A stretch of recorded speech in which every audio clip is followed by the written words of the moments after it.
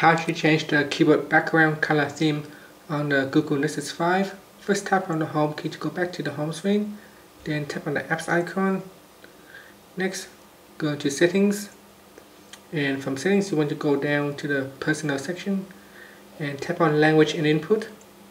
From here, tap on Google Keyboard, then tap on appearance and layouts, then tap on theme, and from here you can choose a different theme uh, material light, material dark, Holo White or Holo Blue. So if I choose Holo White, we go back here and do some typing. You can see the keyboard background color change now. So we go back here and choose a different color, material light. You can see now the background of the keyboard is white. So I can choose a different one. Let's choose um, material dark go back here.